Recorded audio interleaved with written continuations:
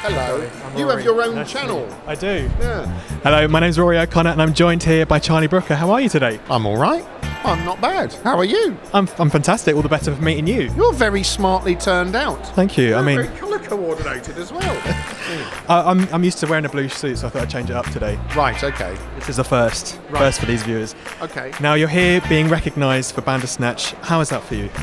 It's pretty good, isn't it? It's not bad. It's better than being punished for it. um, no, it's good. It's, it's, it's gratifying that something that we didn't know whether it was going to work, even literally work, uh, uh, uh, let alone be received well. Um, we didn't know um, how it was going to go, so it's it's it's extremely gratifying that it seems to have gone well enough that somebody handed me a glass of champagne earlier. Yeah. It's such a brand new way of doing things, the interactive way.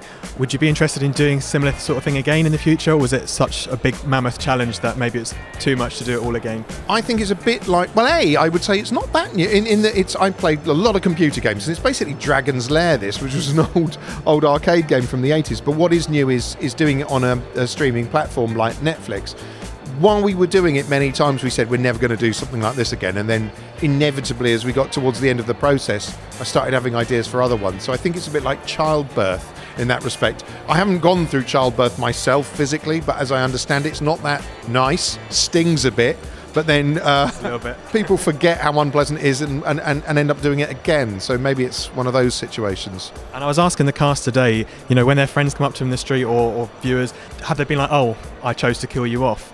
what has been the most used option? And what did you go for yourself? Oh well, ah, it's true. You see, it's it's impossible. Done all of them. well, I've done all of them because I had to sort of we had to play it while writing it. Weirdly, but um, I do know that more. I was surprised that more people chose to chop up the body than bury it, but in an exact Brexit split, fifty-two to forty-eight, which just yeah, just goes to show that fifty-two percent of the population are psychopaths.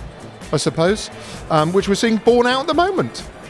Well, it was lovely to meet you. Enjoy your champagne and congratulations on the award. Thanks. Lovely to meet you. Cheers. Thank you. Being psychopaths. well, some of them. Yeah. Thank you Very much. Cheers. Thanks so much for watching my video. Hope you enjoyed it. For more videos just like this, visit youtube.com forward slash Rory O'Connor TV. And don't forget to like, subscribe, and share. I'll see you soon. Are you going to subscribe to it? Yes, I am. There you go. That's all you needed to know.